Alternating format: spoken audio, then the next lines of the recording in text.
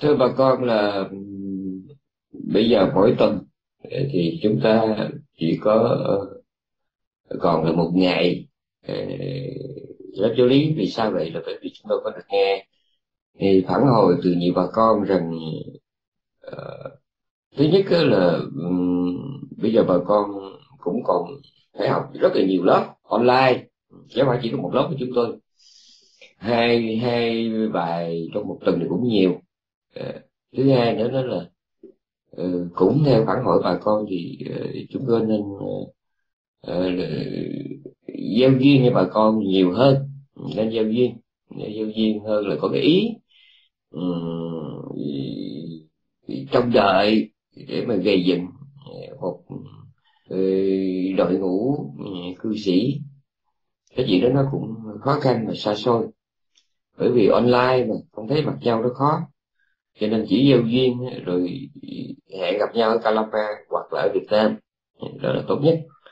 Ờ, hoặc ở Calama hoặc ở Việt Nam, hoặc ở châu Âu, châu thì xa, cho nên tốt nhất là là Calama. Còn ờ, sẽ dĩ chúng tôi không nói đến Việt Nam là bởi vì ờ, mình cũng biết vấn đề hành chánh ấy là có chút khó khăn. Thứ hai nữa là trú xứ cũng khó. Trú xứ cũng khó. Và cái thứ ba đó là nhiều bà con mình có cái tâm lý ỷ lại gần nhà đó cho nên không có chuyên tâm dốc lòng được. Giống như bà con đi qua Calame thì rồi chúng ta có một cái khóa học ba tuần.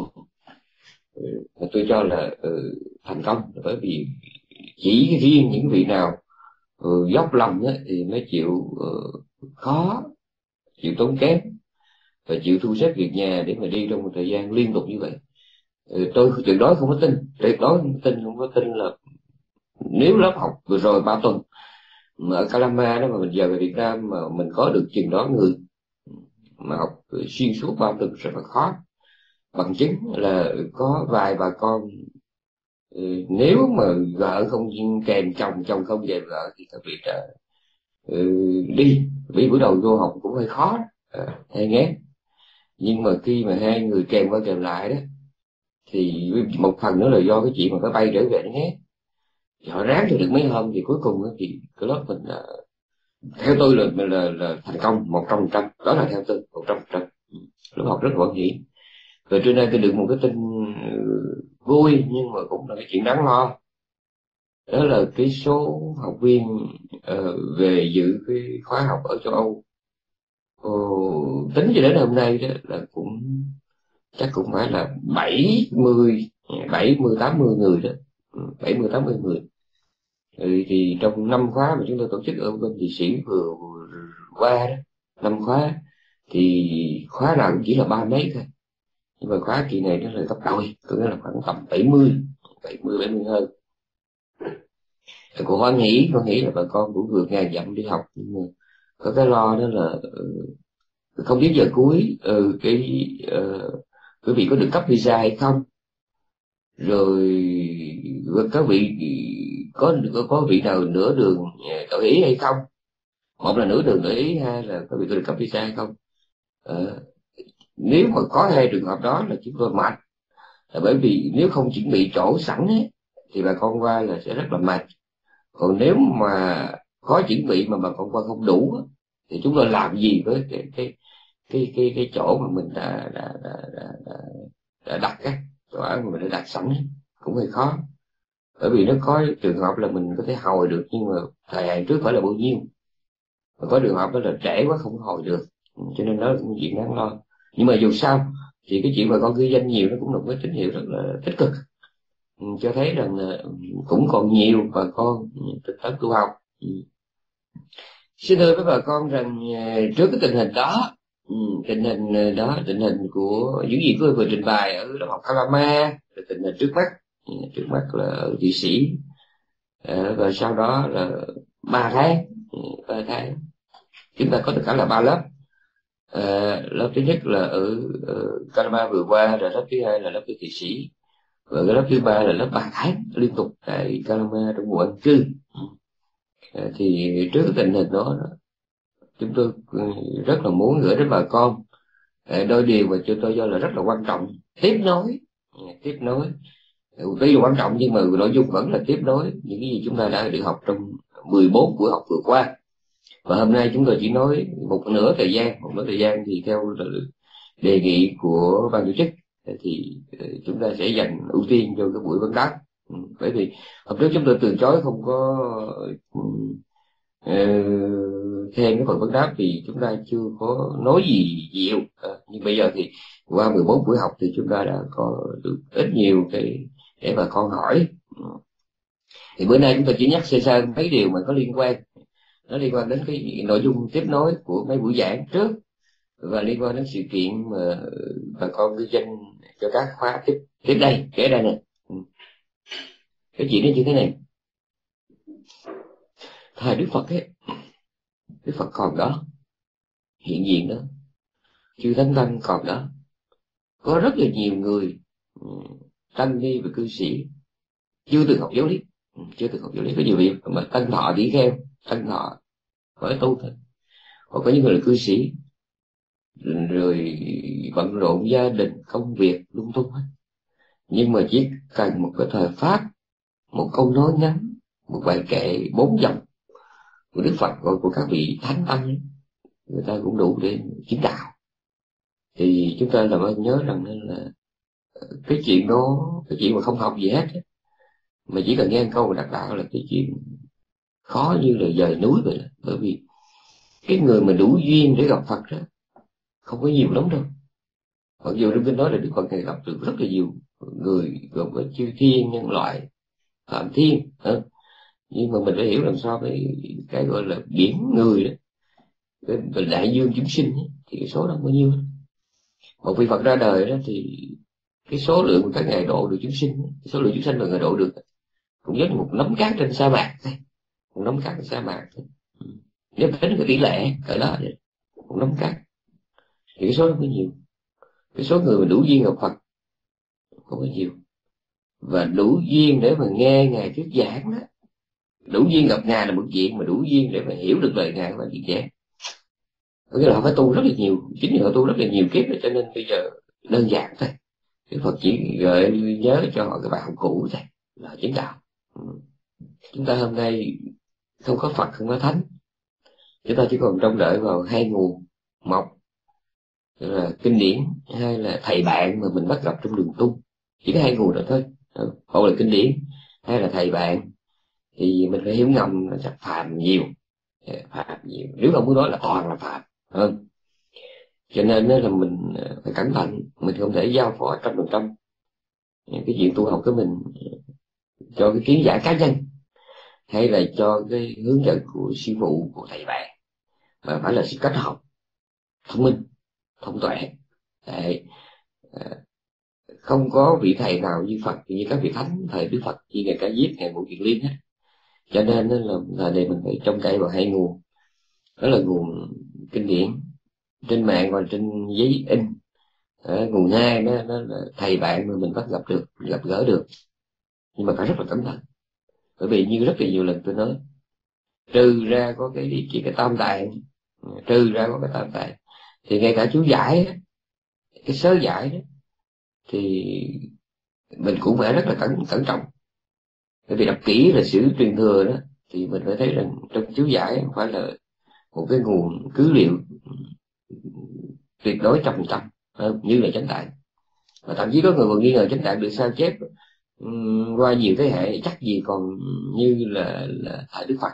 Chánh tạng mà tôi còn nghi nói gì sẽ dạy ờ.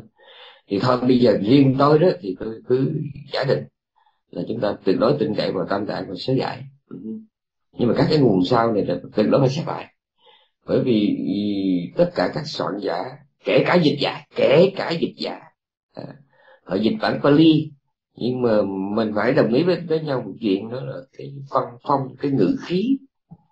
Ừ, rồi cái, cái kiến thức của người dịch tuyệt đối có ảnh hưởng đến cái giá trị và cái cái chỗ đáng tin cậy của của của, của bản dịch của cái cuốn sách mà họ biên soạn. Biên soạn tiếng dịch. Và rất là nhiều lần tôi nói một điều mà bà con tuyệt đối đồng ý. Đó là chúng ta không thể nào thấy được cái tài của cụ Nguyễn Du khi mà chúng ta đọc truyện kiều bằng tiếng Pháp, tiếng Nhật. Không thể nào. Không thể nào. Bởi vì rất là vô duyên nếu mà chúng ta đọc truyện kiều mà bằng bản tiếng nhật. Hay là tiếng do thái, nó kỳ lắm.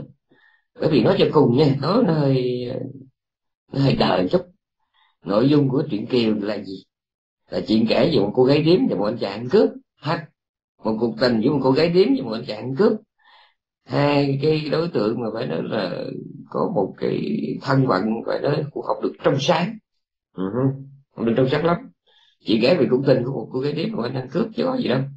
À, thì dĩ nhiên trong đó có lòng vào vào thì chút ít triết lý nhân sinh gồm có phật lão trang à, à, chỉ còn phật khổng lão phật khổng lão chỉ có ba cái đó thôi. Lòng chút đỉnh thôi à, lòng chút đỉnh. Chút đỉnh một chút phật giáo một chút khổng khổng giáo một chút lão giáo dễ vậy thôi. Gọi là tam giáo đó một chút. Rồi một chút cái tâm tình ừ, của người Việt Nam. Mặc dù truyện kiều đó là cái gốc đó là của thanh tâm đại nhân ừ, ừ, bên tàu. Rồi mình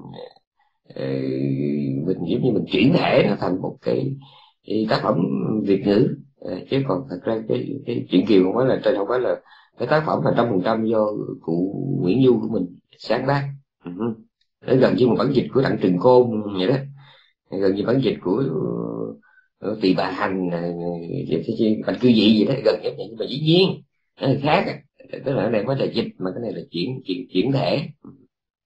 Thì làm gì làm chúng ta không thể nào thấy cái hay của truyện kiều khi mà chúng ta đọc bản uh, văn ngoại quốc ngoại ngữ tam tạng kinh điển của vậy tôi xin đoan chắc một ngàn phần trăm là chúng ta không thể nào mà có, chúng ta có cùng một thứ tâm tình, một thứ cảm xúc nha. Chúng ta nhấn mạnh tâm tình và cảm xúc. Khi mà đọc bản dịch một bài kinh à, của các dịch giả khác nhau, tôi nói thẳng luôn, thí dụ của ông minh châu, bản dịch của ông tuệ sĩ, bản dịch của ông nhất hạnh ông thiện châu bên paris không? Bốn vị. À, bên bên bên bên mà của ngài bên châu của ngài thị sĩ của ngài nhất hạnh của ngài châu bốn vị. Bốn vị đều dịch ờ, một bài kinh tôi nói chẳng hạn như bài kinh à, làm ta pháp ăn lòng ngài thiện châu ngài cũng có dịch. Ờ, à, và thượng nhất hạnh cũng có dịch. Và thượng thị đệ sĩ và thượng bên châu đều có dịch. Hoặc là một cái kinh nào đó trong trung bộ trong tăng chi tương ưng thì có ông phạm công thiện cũng dịch đó phạm công thiện cũng từng dịch. Ờ, một vài bài trong tư bộ kinh ờ, ở công thiện thì tôi đi tôi nhìn qua các bản dịch tôi, tôi, tôi thấy rõ ràng rằng mình có một cái tâm tình có một cảm xúc rất là khác biệt ờ, khi mình đọc các bản dịch khác nhau. Thấy chưa? Mà liệu trong số những tăng ni phật tử việt nam có bao nhiêu người mà đọc thẳng nguyên bản Pali khi mà nghiên cứu về tam tạng và chú giải? Tuyệt đại đa số tuyệt đại đa số chúng ta đọc qua các bản dịch. Ừ, chưa kể là những bản dịch đó được người Âu Mỹ họ dịch, qua tiếng Âu Mỹ. Rồi ba cái tiếng Âu Mỹ đó lại được dịch ngược trở lại qua tiếng Việt. Thì qua tiếng Việt nó đi qua tới mấy mấy mấy trung gian như vậy thì rất là khó khó lắm. Và chưa kể hôm nay có không ít Phật tử Việt Nam mà tôi không loại trừ là tăng ni, tìm hiểu Phật giáo không thông qua tam tạng sớ giải Pali, mà là đọc, tìm đến đọc kinh Phật tìm đến Phật pháp thông qua à, những học giả cái ghê chứ. Ví dụ như tôi có tiếp xúc nhiều nhiều có nghĩa là không ít à, nhiều người họ biết đến Phật pháp thông qua ông Osho biết đến Phật pháp thông qua Krishnamurti biết đến Phật pháp thông qua Herman Hesse biết đến Phật pháp thông qua à, một à, tác giả à, một sư phụ người Thái hay là à, như ngày lại ngài Cha Cha hay là bà Cha Nếp, à, họ đọc ở đâu đó họ thích quá cái họ mới tìm đến Phật pháp. Bây giờ mấy cái mấy cái sách về sách của ngài chanh cha với bà chanh nép là được dịch qua tôi tận mắt thấy đó tôi tận mắt thấy đó nha. Là tôi thấy có tiếng pháp tiếng anh tiếng đức. Và các vị vào trong google á đó là tôi thấy bằng sách giấy bán bên bên mấy nhà sách đức á đức với sĩ. Còn nếu mà các vị online các vị thấy đó bà chanh nép ngài chanh cha ngài à, bút thát đa sát thái là là bút thát thì có cả tiếng tây ban nha à, tiếng ý à, tiếng Indonesia có trên Google tôi thấy tôi thấy có. Tôi, tôi thấy vui tôi giật mình. Tôi nói chà đọc ngài danh cha đọc bà danh ép mà, mà mà các vị này giảng về kinh Phật. Mà bây giờ là nhiều lời dạy của các vị này được dịch qua một cái ngoại ngữ như vậy là từ đó mà ai đó mà họ dịch ngược trở lại là mệt mỏi lắm rất là mệt mỏi. Ừ à, thì nãy giờ tôi đánh một vòng rộng mênh mông để tôi đi nói cái gì? Tôi nói là một là tôi kêu gọi nếu có thể nên làm quen với kinh Phật à, bản gốc. Thứ hai là đừng có tuyệt đối à, tin cậy vào cái biết của mình của sư phụ mình của các nguồn tư liệu tham khảo mà mình có được hoặc là mình có liếc mắt qua hay cẩn thận. Nói như vậy không hề có nghĩa là chúng tôi gieo rắc cho các vị một cái sự hoang mang nghi hoặc. Không phải mà tôi chỉ muốn gửi cho các vị sự cẩn trọng. Cẩn trọng chứ không phải là gieo cho các vị sự hoang mang được. Phải từ đó nó phải cái ý. À, phải ý chúng tôi. Mà cái ý là chúng tôi chỉ xin chia sẻ là rất hy vọng bà con cẩn trọng cẩn trọng cẩn trọng khi mà tiếp xúc với các cái văn bản kinh Phật. Dầu đó là bản dịch hay là những biên soạn là bởi vì tôi cũng dựa vào trong kinh đại bát niết bàn rồi ờ, dựa vào trong tăng chi bộ kinh phần năm pháp uh-huh. cái phần mà đức phật ngày giải cho ngài nan về hai thợ mộc á uh-huh.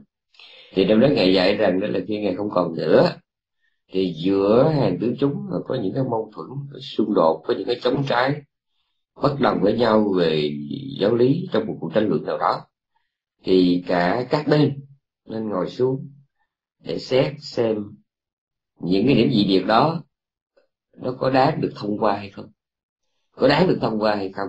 Nha. Nó ví dụ như là nó là nó chỉ ờ, có chút đỉnh dị biệt trong ngôn từ nhưng mà không có cái khác biệt không có mâu tưởng về cái nghĩa lý thì thôi thông qua à, chứ còn mà chúng ta thấy rằng à, như à, trong kinh nói có lúc đức phật này nói về cái cảm thọ đó. Thì nó thọ có một thôi đó là thở quẩn tức là cái cảm nhận của thân và tâm thì gom chung thành một. Có lúc thọ, ngày kể có hai. Đó là thân thọ và tâm thọ. Đó là cảm giác của thân và cảm giác của tâm. Có lúc thọ, ngày kể có ba. Đó là khổ, lạc xả có lúc ngày kể có năm. Khổ, lạc, ưu vị xả có lúc ngày kể có sáu.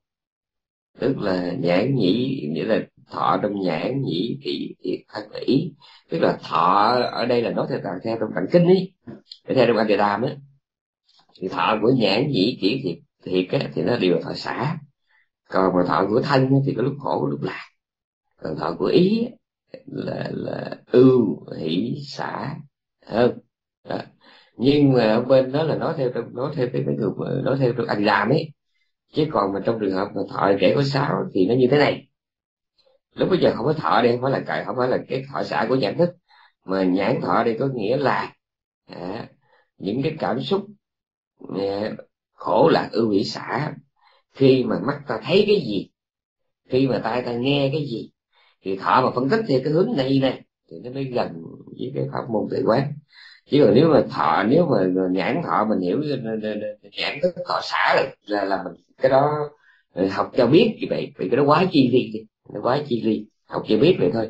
Chứ còn trong thực tế tu chính là chúng ta phải học phải biết thêm là có trường hợp. À, Sáu thọ ở đây là những cái khổ lạc ở vị xã có được từ à, cái chuyện thấy nghe ngửi nếm đụng đương nhiên nó là gián tiếp chứ không phải là trực tiếp nó là gián tiếp. Nhớ nha. Ừ. cho nên nhiều khi chúng ta chỉ, chỉ cấm đầu chúng ta cãi chúng ta cãi. Nhất là học qua mới đó ừ. nó có một câu thế này người không đọc sách thì rất là đáng sợ. Mà người chỉ biết đọc có một cuốn đáng sợ hơn nữa.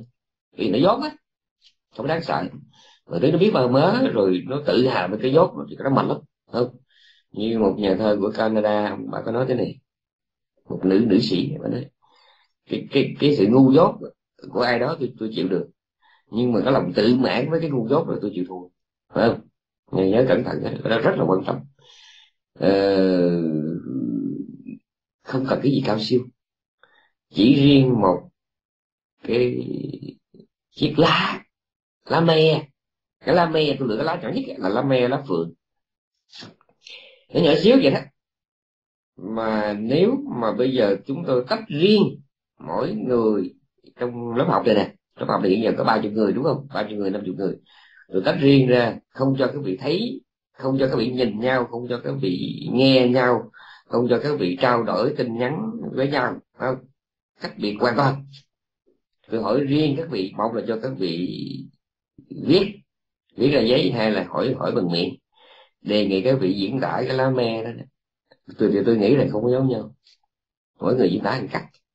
Tức là, anh hãy cho tôi biết hoặc là anh hãy viết xuống tất cả những gì anh biết về cái lá me. Tất cả gì anh biết những kỷ niệm những kiến thức những cảm xúc những cảm nhận những nhận thức không? Những hình dung những liên tưởng nha. Hình dung nè liên tưởng nè cảm nhận nè kiến thức nè của anh về cái lá mè, này anh, anh ghi hết số tờ giấy này cho tôi. Chỉ cái lá mè thôi. Thì mình biết rằng có rất là nhiều cách nói. Rất là nhiều cách nói. Chứ không phải chỉ có một cách nha nhiều lắm. Thì tùy trường hợp mà đức thế tôn này trình bày các cái vấn đề ừ, giáo pháp theo một cái hướng nào đó, một cách nào đó. Tinh thần thì có một thôi, nhưng mà dạy biển thì chỉ có một vị là mặn. Tất cả là dạy của ngài chỉ có một cái hướng nhắm đến duy nhất, đó là giải pháp rồi có được một lúc khác, ngài dạy rằng, trong toàn bộ các pháp thoại mà ta thiết giải một đời ta chỉ nhắm đến hai cái nội dung. Một là nói về cái khổ và con đường thoát khổ xác định mọi hiện hữu là khổ. Và xác định thế nào là khổ được thoát khổ. Thì chỉ nói chuyện đó thôi. Và tùy cái căn cơ của chúng sinh. Mà có lúc cái khổ đó người nói ở một cách khác nhau. Có chỗ nói tới cái khổ ngài nói nó vô thường khổ vô ngã. Có chỗ khổ ngài chỉ nói chỉ, chỉ sanh diệt đủ rồi. Ngài không nói đến, đến cái gì này coi như cái cái cái bản chất căn bản của của cuộc đời. Ngài chỉ nói trong cái chuyện vô thường là đủ rồi ngài nói đến tính sanh diệt là đủ rồi. Ừ. rồi có lúc thì ngài nói đến các cảnh giới tái sinh. Thì nói đến cái khổ lưng hồi ngài chỉ nói rằng máu và lệ mà chúng sinh đổ ra trong dòng luân hồi. Nó nhiều như nước trong bốn biển. Sữa mẹ mình đã bú trong dòng luân hồi nó nhiều như nước trong bốn biển. Chỉ nói vậy thôi. Có lúc thì ngài lại nói đến các cái cảnh giới tái sinh như là noãn thai thập và ngài không nói nhiều ngài không nói nhiều không nói gì máu lẻ không có. Chỉ cho biết rằng trong cái dòng luân hồi có lúc thì mình ờ, sinh ra nguyên con có lúc sinh ra trong trứng có lúc sinh ra trong môi trường ẩm thấp có lúc thì sinh ra theo cách đột diện ừ, ừ. một cái người mà hữu duyên ấy, nghe cho nhiêu đó là đang là đã nổi da gà ớn rồi. Các vị mà coi cái quá trình hình thành cái bầu thai đó, thì ghét lắm ghét lắm. Không có muốn cái xanh nữa ghê quá đi từ cái cái lúc mà phôi ấy, còn là cái phôi ở trong bụng mẹ đó rồi nó từ từ nó hình thành ra một cái miếng thịt bằng ngón tay vậy đó bằng đầu ngón tay vậy đó. Rồi từ từ nó ra, ra các chi à, rồi nó ra nguyên hình à, đầu mình tay chân rồi nó phập phồng phập phiều ở trong bụng mẹ rồi tới cái lúc mà nó được chào đời trời đất ơi tôi nói chỉ riêng cái chuyện mà nói thai thấp quá là mình hết muốn lương hồi. À, rồi có lúc thì ngài nói đến cái khổ ờ, luân hồi thông qua ờ, một chuyện nghe rất là người lạ đó là thực phẩm. Ở trong các cái đề mục có cái đề mục tên là ahare nha, có nghĩa là quán niệm về cái cái sự đáng chán ở trong thực phẩm. Luân hồi mình nó mình chỉ nghĩ đến cái đó là đủ đủ chán tức là mỗi một cái hạng chúng sinh nó có cái loại thực phẩm riêng. Vì cái nhu cầu nuôi mẹ nuôi sống mà phải làm bao nhiêu chuyện để kiếm kiếm ăn. Cái hành trình kiếm ăn không phải dễ. Và khi có được miếng ăn rồi cái phải là chế biến, rồi phải tiêu thụ, tiêu hóa, rồi bài tiết. Thì hành giả ngồi nghĩ cái đó, thì ấn thì toàn bộ cái tấm thân này, nó chỉ có một gói gọn trong cái miếng ăn thôi. Không có miếng ăn thì cái này nó thân này nó lăn ra nó chết bao nhiêu trí tuệ sự nghiệp, đời đạo, danh tiếng, quyền lực, tình cảm. Bao nhiêu thứ. Chỉ cần mà mình thiếu, mình không có ăn là là kết thúc. Chỉ cần mất thở là mình kết thúc. Chỉ cần thân nhiệt mà nó nó ngưng là kết thúc. Thế là ngài dùng nhiều cách để ngài nói về cái khổ. Chỉ riêng nãy giờ tôi đang nói về cái khổ thôi đó. Còn nói tới con đường thoát khổ thì ngài có nhiều cách. Có lúc ngài chỉ nói là không nên dễ vui trước khi biết bàn thầy có nói rằng vạn hữu ở đời là vô thường. Hãy tinh tấn, tu tập, chớ có dễ ngươi xong có lúc thầy gom hết toàn bộ cái con đường giải thoát vào một chữ là không dễ ngươi. Uh-huh. rồi. Không dễ ngươi đây đó là có nghĩa là không có tiếp tục sống ra bất thiện. Không có coi thường cái điều ác nhỏ mà làm. Không có coi thường điều thiện nhỏ rồi không làm. Và biết trân quý từng giây thời gian của cái người ờ, của một cái người biết chánh pháp. Thì xưa mình biết đạo là gì nhưng mà khi mình biết chánh pháp là thời gian quý ghê lắm quý ghê lắm. Bởi vì mình phải nhớ rằng mang thân người đó là đã khó. Mình gặp được Phật pháp khó hơn khó hơn nữa khó hơn. Và gặp được Phật pháp là hiểu được Phật pháp là tin được Phật pháp là hành trì được Phật pháp thì cả mọi phần vạn phần khó khăn. À, ừ. thì có lúc ngày nói trên cái con đường tu học ấy Ờ, chỉ có một chữ dễ ngươi không dễ ngươi. Có lúc này nói đến có hai hai cái hai hai chuyện này chỉ bật quá.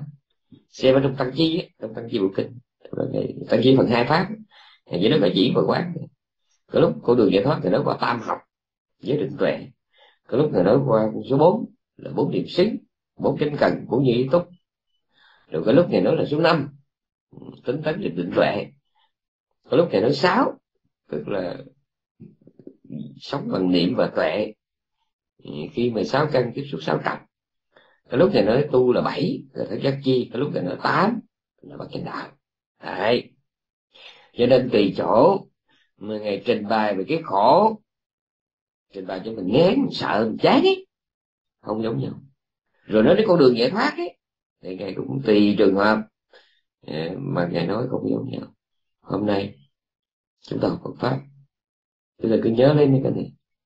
Lời Phật nguyên thủy thường là rất cô động. Là vì sao? Là vì Đức Phật nhìn thẳng vào cái bản tâm của đối tượng trước mặt. Ngài biết rõ cái căn cơ của họ cái trình độ của họ ra sao. Họ hợp với cái gì? Cái gì là nó khế hợp với cái căn cơ của họ tâm lý của họ. Cho nên ngài chỉ nói một câu rất là ngắn gọn rất là cô độc đủ để người ta chứng. Uh-huh, đủ rồi và có một điều là đối với người đó như vậy là ok, nhưng đối với đối với người khác ấy, thì rất khó. Nếu mà muốn nói là không thể. Có nhiều câu, nếu mà không có chú giải là không có tài nào hiểu nổi, không tài nào. À. cho nên hôm nay có một cái bi kịch đó là rất là nhiều người đọc kinh phật, đọc chánh tạng, thông qua các bản dịch. Họ dùng cái kiến thức ngôn ngữ, ví dụ như họ đọc bản tiếng anh, thì họ xài cái kiến thức tiếng anh họ đọc bản tiếng việt, thì họ dùng những cái thứ tiếng việt để họ hiểu lời phật. Mặc dù các dịch giả có cố gắng tận lực cách mấy đi nữa, nhưng mà hiểu ngầm là không tài nào mà có một bản dịch mà lột tả trăm phần trăm ý nghĩa lời Phật. Không phải là nói gì, có nghĩa là lời Phật là mù mờ, khó hiểu, không phải nha. Không phải nói cái đó nha. Nhưng mà có nhiều chỗ có nội dung rất là cô động. Ví dụ thì cho các vị địa chỉ này các vị vào ở trong cái cái Suttanipata mà ngày Minh Châu dịch là kinh tập đấy. Tập đó mới thì khích, rồi cho địa chỉ luôn. Chẳng hạn như là bài kinh uh, tây ngưu một sừng tây ngưu một sừng đúng là cái đó phải gì là sừng tây ngưu mới đúng. Dịch sát là dịch chỉ đúng là sừng tây ngưu. Kinh kinh kinh tây giác cái là kinh tây giác. Tê đó là tây giác. Tê tê là tây ngưu còn giác là sừng khắc cái visa ná là cái sừng của con tây tây giác cái là kinh kinh tây giác. Hoặc là kinh Parayana tức là kinh ờ, đá biển ngạn của Nam truyền á chứ không phải kinh bát nhã Parama có phát truyền nha. Kinh đá biển ngạn của Nam truyền là Parayana à. rồi thêm nữa sáu cái bài kinh mà mà chúng tôi đã thuyết giảng đã, đã giảng trong nhiều năm trước. Chúng tôi gom nó thành là lục đại chân kinh ấy. Ừ. bài kinh mà đức phật ngày dạy cái, cái, cái, cái sáu bài này giảng trong một cái đêm mà đại hội ờ, uh, chi thiên ở trên tuyết sơn. Sáu bài cho sáu cái căn tính sáu cái khuynh hướng tâm lý chúng sinh, thì các vị đọc sáu cái hai là tám tám bài đó, mà đọc bản chú giải á. Mà trước khi đọc chú giải, các vị đọc bản chánh đạo trước. Cực kỳ mơ hồ. Nếu là đọc gồng á, mình gồng á, cái gì mình dùng cái kiến thức tiếng việt của mình ấy, thì mình đọc loáng thoáng loáng thoáng. Chỉ còn phải nói là cái đó là phải có kiến thức giáo lý. Tôi nói vượt tẹt luôn là kiến thức a di đà. Phải có kiến thức a di đà rồi đọc chú giải thì mới hiểu tám bài kinh mà tôi vừa nói. Nha. Tức là bài kinh Parayana bài kinh ờ, ờ, đáo biến ngạn ấy rồi bài kinh ờ, tư giác rồi bài kinh mà bài kinh tư giác vui lắm bài kinh tư giác mình đọc mình đọc sao mình thấy, thấy ok mà. Ok mà pháp tạng rất ok thế. Đó tôi tưởng tôi cũng tưởng vậy tưởng ok. Nhưng mà tới lúc mình coi trong kia mình hết hồn mình thấy mình ngu thiệt. Mình dốt thiệt mình mới nghĩ nó ok. Ừ rồi cái bài kinh đáo vĩ ngạn cũng vậy bài kinh bài kinh mà đức phật ngày giảng trong 16 vị đệ tử của bà la môn bari ấy bài kinh đó là cái nội dung là phải nói là khó khăn nghiêng trời đó nhưng mà mình liếc dùng thấy cũng ok mà à, nhưng mà không còn ok không phải vậy đúng không rồi thêm sáu bài kia nữa sáu bài mà chúng tôi giảng nhiều năm trước à, nãy chúng tôi có giới thiệu thì tám bài này đó là vì là nói tôi tưởng là tôi giỏi không à thì lúc tôi tưởng tôi với ngài sao là phát chắc cũng tầm tầm nhau tôi nói thiệt luôn. Tôi nghĩ tôi với ngài phát chẳng qua chắc ngài, ngài giỏi hơn mình chút đỉnh này chắc nhiều người việt nam cũng nghĩ như vậy nghĩ chắc mình với ngài sao là phát ngài nan cũng tầm tầm nhau vậy đó. Tưởng vậy.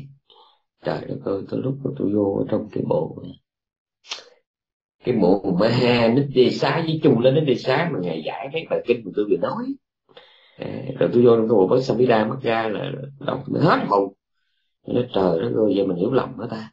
Đấy, mình hiểu lầm. Mà cái may là mình còn nhận ra là mình thật. Chứ bây giờ là mình cứ lặng lẽ mình online rồi mình thấy nhiều cha coi như vẫn còn giữ suy nghĩ là họ bằng ngài sẽ là phật có nghĩa là mấy cái bài kinh nó cứ mở ra bản tiếng việt của ngài bên châu đó là cứ nhìn bản tiếng việt đó rồi à, một bên là từ điển hán việt của đào duy anh bên là từ điển tiếng việt của nguyễn lăng hà nội. À, gia tài có nhiều đó thôi. À, còn bên là quyển của ông đào duy anh bên là của ông nguyễn lăng cái hai quyển đó là cái gì? Hành trang đó. Hành trang đó. Để hai quyển đó. À, hai quyển đó bắt đầu phải làm hai cái chìa khóa vàng. À, coi như hai cái chìa khóa đó gọi là thâm nhập kinh tài bởi vì họ tự tin là họ có trí tuệ như hải. Đấy nhớ rồi. Đó là, là không đủ đâu quý vị không đủ không đủ tuy nhiên nhớ dùm cái này là tất cả cái biết mà chúng ta có được từ cái nguồn chú giải tâm tạng ấy vẫn chưa tới đâu hết. Vì sao? Là vì trong đó người các vị thánh họ chỉ giải thích cho mình cái điểm khó ở cái thứ nhất là vừa sức với các vị vừa sức với các vị và cũng tìm cách để cho mình nè à, đám hậu học của mình nè, hiểu. Chứ còn tôi tin chắc một ngàn phần trăm các vị cũng đồng ý với tôi rằng là cái mỗi bài kinh trong tam đại ấy, ngài sẽ là phát ngài hiểu sâu và rộng hơn rất là nhiều vị a la hán khác. Chắc các vị phải đồng ý tôi chuyện này. Để nhất trí tuệ mà. Uh-huh. nhớ ha. Ngài sẽ là phát ngài hiểu những bài kinh đó, hoặc là ngài các chay vậy đó chắc chắn là ngài các chay đó hoặc là ngài maha có chuyện đó đệ nhất về về vua ngày dạy thì cả ba vị đây nè còn nhiều vị nữa ngày nay ngày cái giết tôi chưa kể nhiều lắm. Thì kể ba vị tượng trưng thôi. Thì tôi tin chắc một ngàn phần trăm là ba vị này mà gọi là giải thích một trăm năm mươi hai bài trung bộ và ba mươi hai bài trường bộ. Bảy ngàn bảy trăm bài ờ, tương ưng và chín ngàn rưỡi bài tăng chi. À, khác mình nhiều rồi khác nhiều rồi. Uh-huh mà chẳng những khác mà còn dày mới ghê nè các ngài tuyệt đối có khả năng à, là triển khai mỗi bài như vậy theo nhiều cách khác nhau. Chứ không phải chỉ không phải là bữa nay là ngày 13 tháng 7 năm 2024 các ngài giải thích xong cái buổi sau cái mình hỏi các ngài giải trang vậy. Không nội dung tinh thần đúng là chỉ có một. Nhưng mà các ngài còn có vô số cách để mà giải thích để mà ví dụ để mà chứng minh để mà minh họa chứ không phải chỉ có một cách. Này nhớ cái đó nha. Tôi tuyệt đối tôi tin gì đó. Bởi vì chính tôi thấy trong chú giải chỉ một chữ đó mà có thể giải thích ra trăm cách trong trăm trường hợp một chữ một cách ghê như vậy đó. Đấy là lý do vì đâu mà tôi đang đang tận lực à, để làm một cái, cái bộ ờ, mà tôi nghĩ là tới ngày đi chết cái bộ nó cũng không bao giờ vì nhiều lý do rượu ngon không có bận gì. Không mua không phải không tiền không mua. Ai xài cái đó đây? Tôi dò hết trong trong chú giải. Tôi đã đọc hết trong chú giải. Tôi phải nói mạnh miệng tôi đã đọc hết chú giải. Tôi coi cái có, tất cả những cái chỗ mà định nghĩa cái chỉ quý bát đó tôi lựa cái chỗ nào mà tôi thấy là đầy đủ nhất nói nhiều nhất về chỉ quý bát na bản Pali ấy, tôi mới lấy cái đó tôi dồn như một chỗ. Rồi chỗ nào mà nói về ngày sau lại phát chỉ Sariputta rồi thấy chỗ nào mà nói nhiều về ngài đó, tôi mới lấy cái phần đó tôi để vô một chỗ. Và sau này cứ đọc đâu mà tôi thấy cái gì có liên quan đến ngài sẽ lợi tôi mới dồn vô hết một chỗ. Sau này chỉ cần mà mình à, mình gõ cái chữ Sariputta thì có bao nhiêu chuyện để ngài ngài sẽ là phất. Rồi cái chữ Vipassana, mình cứ gom là hết những định nghĩa mà mình thấy là cần thiết. Mình dồn vô hết một chỗ và mình ghi xuất xứ nha. Ví dụ như theo trong trong trong bộ kinh, bài là kinh nào thì chữ Vipassana được giải thích ra sao? Bài kinh nào được giải thích ra sao? Rất là thú vị. Rất là thú vị. Nha. Ừ. À, cho nên chỉ một chữ thôi nó là có cả hàng trăm cách giải thích. Không mâu thuẫn nhau nha không mâu thuẫn. Mà có cái là mỗi một chỗ về thì ý nghĩa được triển khai sâu rộng về một hướng. Uh-huh. nhớ nha. Rồi. mà tại sao trưa nay tôi lại nói cái này? Là bởi vì tôi muốn nói cái này nè. Mình học mình thấy đó một trăm hai mốt tâm. Tại sao có chỗ gom lại còn có một là sao đấy. Rồi mình thấy là trong kinh điển chánh tạng ấy có cái chỗ nào mà nhắc về con số 13 tâm sở tự tha không? Không hề có. Nha mà tại sao đây có? Rồi ở trong là là là, là, là, là trong kinh tạng ấy có chỗ nào mà mình thấy nói đến con số 14 phiền não không? Không có. Không có mà tại sao ở trong mình học trong ngã tỳ đàm lại có? Thấy chưa? À thấy chưa? Và chưa kể là phiền não có trường hợp kể theo tặng kinh có trường hợp kể theo ngã tỳ đàm. Kể về kinh mình thấy có là ma gia nè sa thay giá nè upana há là não hại là gian dối là lừa đảo nè khoác lác là vinh quang nè à, là làm biến nè là bất tính nè tạng kinh nó kể rất là nhiều phiền não. Nhưng mà trong Atida mình thấy không phải chỉ có tham sân si mà còn ái mạng kiến nghi hôn trầm tùm lum hết. Sân tật lệnh hối tham là kiến cái mạng đúng không? Nhưng mà tại sao trong chánh tạng thì không? Không có kể mà mà con số không nhắc cái hệ cũng nhắc tới con số 14 rồi tâm thiện ở trong chánh tạng chỉ có kể đến ờ, là là ba bảy bồ đề phật. Mà trong đó là cái, cái chánh niệm được nhắc đi nhắc lại rất là nhiều lần. Cái trí tuệ được nhắc đi nhắc lại rất là nhiều lần. Cái định nó được nhắc đi lại lại rất là nhiều lần nhưng mà trong kinh tạng ấy, trong kinh tạng mình thấy chỗ nào mà nói tới là 25 tâm sở trong kinh tạng ấy. không. Hiểu chưa rồi hôm nay những cái người mà chỉ có biết học kinh tạng mà mù tinh không biết gì về thì đi đàm thì khi họ nghe mình nè, nghe cái đám trong lớp này nè, mà mở miệng ra mình nói nó thăm một trăm hai mốt hoặc là tám mươi chín là thấy mình còn ngộ rồi. Cái này là cái đạo lạ rồi không sáu thức thôi chứ nam truyền là sáu thức bắc truyền là tám thức thì làm gì có một trăm hai mốt nha. Rồi. Rồi là mình thấy là, là tham sân si ái mạng kiến nghi thì le que dài ba việc nào thì bắt chỉ lên đến mười bốn làm sao? Rồi còn bên bên thiện à, bên tâm thiện thì mình thấy là đó ba bảy một niệm phật. Mình à, đức tin thì được nhắc tới ừ, độ hai lần rồi còn chánh niệm thì nhắc tới bao nhiêu lần? Rồi trí tuệ rồi định ờ, chắc tới bao nhiêu lần? Không? Nhưng mà có cái nào mình thấy nhắc tới 25 không? Không. Từ chánh tạng nha tôi nói chánh tạng từ kinh tạng trong kinh tạng cũng có. Nói vậy có nghĩa là những người nào mà không có học a thì đàm thì làm ơn đừng có mắng là a thì đàm nói dư. Nói thử. Mà ai học a thì đàm á, mà không đọc kinh tạng ấy thì làm ơn cũng đừng có nói người ta đó là nông cạn dở hơn mình và chặt hẹp hơn mình. Và ai mà chỉ biết kinh tạng và a thì đàm mà không biết tặng lục ký thì cũng làm ơn. Nhớ rằng tặng lực là một trong ba cái tạng. Mà chỉ biết tận lực mà không biết hai tặng kia đó, thì đương nhiên đó là một sự bất cập không tha thứ được. Phải không? Đấy. cho nên tôi muốn nói cái gì? Cái gì cần học hết. Nhưng mà đừng bao giờ đào hang, giấu mình. Đừng bao giờ xây nhà ngốc, tự nhốt mình. Vì ngoài kia là trời cao đất rộng, nắng gió mưa sương, mênh mông bát ngát. Không lý gì, bà mẹ sinh mình ra tại chân lành lặn, không bị xiềng xích.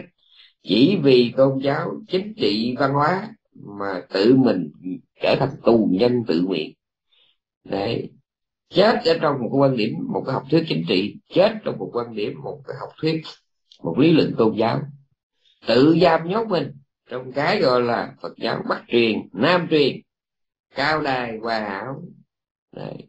không được, không thể được. Chúng ta không thể. Trời cao đất rộng, mình lầm lặng tay chân ok, không nên làm tù nhân tự nguyện. Với những cái cái đời sống, gọi là chim lòng cá chậu dầu đó là về khoa học. Có người bị nhốt tù trong khoa học nha. Có. Với cái kiến thức về toán, lý phá quá à, mà họ tự giam nhốt họ xin lỗi họ biết được bao nhiêu. Về toán, về lý, về hóa họ biết được bao nhiêu. Lấy cái đó làm cái cái chù nhốt mình trong cái gì mà nó không có ứng, nó không có thuận ứng. Với cái biết của mình thì cái đó là sai cái đó nghĩa là mình đang tự nhốt tù cái gì mà nó không có ứng với cái, cái, cái niềm tin hồi giáo cơ đốc ấn giáo do thái phật giáo của mình thì cái đó là sai. Có chịu nổi không? Đó là tù. Cái gì mà nó không thuận ứng với quan điểm triết học chính trị của mình thì cái đó là xe bét thì cái đó phải là ở tù không? Ở tù chứ. Ở tù. Nghĩa là chính mình không dám vượt thoát ra đó. Tuy nhiên vượt thoát cái đây là gì? Vượt thoát để có hai trường hợp vượt thoát để không bị cầm tù hai là vượt thoát vì muốn nổi loạn. Không tuân thủ một nguyên tắc nào hết. Không biết là bao nhiêu lần. Tôi nói, một người, được gọi là kẻ sĩ ngoài xã hội, kẻ sĩ ngoài xã hội, hay là một tu sĩ, một cư sĩ trong phật giáo. Cũng phải nhớ đến bốn chữ. Kinh, quyền, hành tài Đấy. kinh là phải nguyên tắc sống là phải phải biết đến những nguyên tắc. Mình mình lấy mắt mình nhìn mình tưởng con thú nó nguyên tắc sai. Người ta hay nói là gì? nhiều thú hoang sai. Thú hoang con thú nó cũng có nguyên tắc. Nó tuân thủ từ thiên nhiên kinh khủng lắm. Nên, người thú gì cũng phải có những nguyên tắc. Sống sai nguyên tắc là chết cho nên phải biết tôn trọng những nguyên tắc. Đấy. đó là gọi là kinh. Kinh đi cái là biết tôn trọng nguyên tắc. Nhưng mà quyền quyền đó là quyền biến ý, là phải có khả năng linh hoạt linh động mình không thể nào mà là tự giam nhốt mình trong những cái lòng chậu. Không đó là quyền. Kính là tôn trọng nguyên tắc dạ. nhưng mà quyền là có cái quyền biến lên lên lên lên, lên động hành là lúc nào?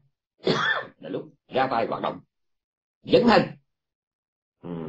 trình diện trình diện trình làng trình diện trình làng lúc nào? Nhưng mà tàn tàn có rê tàn có rê trường hợp nào là phải ẩn thân dốt mặt. Chứ mặt lúc nào mình cũng trợn ra no, no. lúc nào là lúc mình cần phải lộ mặt lúc nào mình cần phải lộ diện lúc nào cần phải dấn thân cần phải có hành động. Trước ánh sáng mặt trời trước bàn dân thiên hạ. Nhưng mà lúc nào co lại giấu mình giấu mặt ẩn thân. Lúc nào?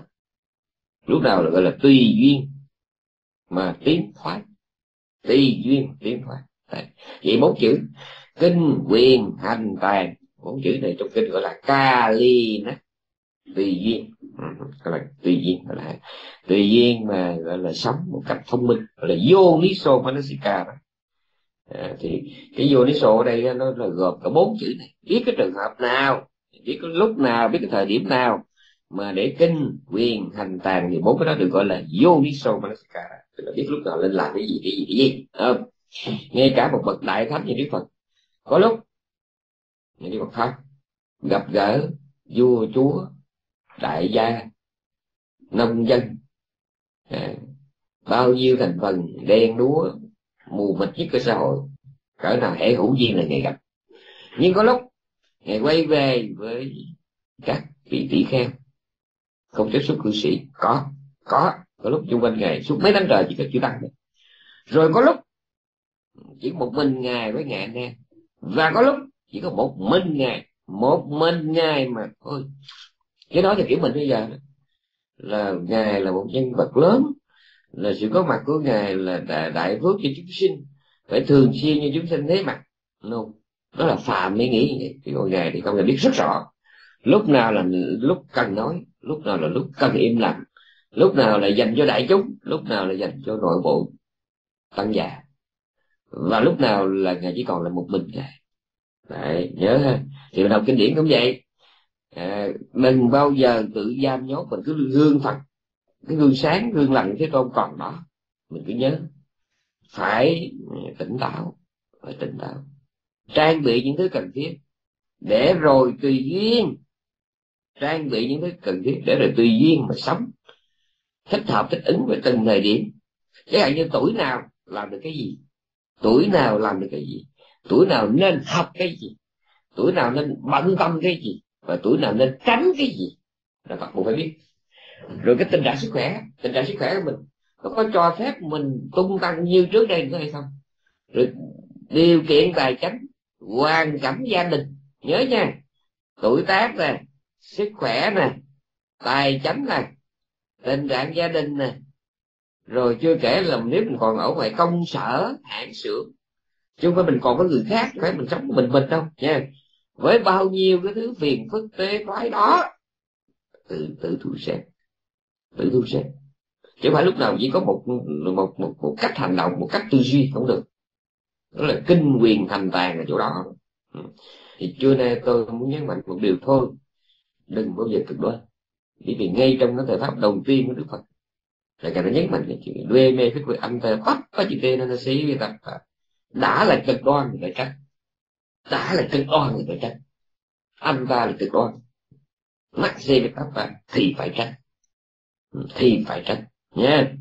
Đã là cực đoan người phải tránh thì trong bài kinh đó đó, bài kinh diệu pháp luân ấy, thì ngài đưa ra hai cái cực đoan. Đó là khổ hạnh, tức là tu bằng cách mà mình cầu giải thoát, mà mình tự, gọi là, đẩy mình vô cái chỗ mà dây dò, đầy đỏ thân xác trong cái đoan cầu giải thoát mà đi tìm đến cái là, cái bơ sữa dung lụa cũng là một cái cực đoan quá khô và quá ướt cũng là thực vật. Quá cứng, quá mềm cũng là thực vật. Quá nóng, quá lạnh cũng là thực vật. Nhớ không? Ừ. thì cái bài kinh cái tinh thần trung đạo của bài kinh giúp linh rất là sâu. Rất là sâu. Nha. Thì khi mình nên là mình chỉ tập trung vào một chữ thôi một trong một cái tình huống thì mình nghĩ cực đoan trong chữ pháp lưng là chỉ đến là dưỡng hành. No no. Và trong trong trong trong trong trong tu bộ kinh thì phần người có dùng cái chữ này này các chị theo. Ta là cái người quyết phách cho qua đi chứ không phải là e canh ta qua đi. Các vị trai rồi để à, vào google dùng tôi đánh dùm hai chữ định. Thấy không? Quý phách cháu qua đi quý phách cháu à, qua đi là biết spell qua mập rồi vậy. Không? Quý phách cháu qua đi. À, ta là người nói năng có phân tích đa chiều. Quý phách chúng qua đi là ta là người nói năng đa chiều. Chứ không phải là e canh ta qua đi là cực đoan, một chiều phiến diện cục bộ ống khung no. Ngài phải là e canh ta qua đi mà ngài là quý phách cháu qua đi đó là trong chánh tạng nói đó, trong trung bộ kinh nói như vậy đó. Quý phách cháu qua đi và từ cái câu nói này của thế tôn, cho nên trong lịch sử phật giáo sau khi ngài viên tịch khoảng 200 năm, thì có một cái nhánh Phật giáo lấy cái tên là quý phách cho hòa đấy là từ chỗ đó. Quý phách cho hòa đấy thì uh, tương truyền rằng đây là là cái tên cũ cái tên cũ của Theravada mình đấy của Theravada đó. Rồi. Thì uh, điểm sơ về con thấy thiền não có nhiều cách nói nhưng mà chỉ có một. Thiện pháp con đường luân hồi con đường giải thoát cũng có nhiều cách trình bày. À, không bao giờ đừng bao giờ. Ừ. Nên không bao giờ đứng ở một cái góc nhìn nào đó. Ở một góc tù góc hẹp nào đó rồi phán ra cái câu mà khuôn thước chuẩn mực cho toàn thể vũ trụ. Mà chính mình ấy hiểu nghe à, thì kẹt lắm. Rồi cuối cùng chốt lại bài giảng bữa trưa nay. Thì tôi cũng xin nhắc một chuyện nhỏ thôi là có nhiều cách để học Phật pháp. Cách một học để thỏa mãn cái trí tuệ lý luận. Thế nó chặt chẽ nó hay quá mê học giống như người ta học toán lý hóa vậy đó. Cách thứ hai học để cầu phước. Cho nên học đạo có phước thì ráng học. Cách thứ ba là học để mà tìm ra con đường giải thoát. Học để tìm ra cái mối kết nối eh, tương quan giữa lý thuyết và thực hành. Đó cái cách thứ ba này mới xài được. Còn đa phần phải nói là đa phần mình ấy học là lọt cho hai hàng trước. Thấy người ta nó học đạo, có phước là đáng học, còn không đó là học để thỏa mãn cái cái cái cái đầu óc lý luận thôi. Và tôi năm nay tôi làm thầy chùa mấy chục năm, tôi có thấy cái này. Có rất nhiều người học a thì đàm xong rồi bỏ đạo ngon ơ. Học a thì đàm chi pháp, mười ba, mười lăm, mười tám, bốn mốt đó, wow wow. Mà sau đó bỏ đạo con ơi là vì sao? Là vì họ đã tiếp cận với a di đàm theo cái cách mà người ta học toán lý hóa họ học không phải để mục đích để mà ừ, hành trì. Họ bước vào cái lớp Atida mà học, mà chuyện đầu tiên họ bị thiếu đó là họ không có thấy được họ có nhu cầu để tu học giải thoát không có, chỉ đó có. Cho nên trăm ngàn lần tôi đã nói, chuyện đầu tiên của một người tu hành giải thoát đó là phải xác định mọi hiện ngữ là khổ. Thân xác này nó là một cái gánh nặng. Chuyện đầu tiên là phải xác định cái đó, là muốn làm gì làm. Cái đầu tiên anh muốn là cư sĩ hay là tu sĩ? Anh muốn học đạo hay là hành đạo? Thì cái chuyện đầu tiên anh phải treo con đeo trước mặt anh cái mặt bắn nhét anh phải treo cái mặt cái túi mặt ờ, hoặc là treo cái trái khổ qua để anh nhớ rằng mọi người là lấy cái đó làm cái câu thần chú nền. À, bệnh covid này còn cần cần có bệnh nền thì nói với hành đạo hành đạo phải có kiến thức nền. À, phải có nền mới làm gì được. Covid mà không có bệnh nền sao nó giặt mình chết được ha thì mình tu hành phải có cái kiến thức nền nó phải, nó phải chặt được cái việc nào chứ. Ừ. thì kiến thức nền là chuyện đầu tiên mà anh phải xác định về bản thân mọi hiện hữu là khổ. Mọi hiện hữu nó chỉ là gánh nặng sự có mặt trong đời này nó chỉ là vô nghĩa vô ích vô duyên vô dụng. Bốn cái vô. Vô nghĩa vô ích vô duyên vô dụng. Không biết sao có nghĩa lý cái Phật dạy rằng giống như một cái miếng phân người mà nó dính trên cái que que cái que gỗ nhỏ xíu. Dầu chút xíu như vậy nó vẫn là phân. Dầu một chút xíu như vậy nó cũng đáng gớm.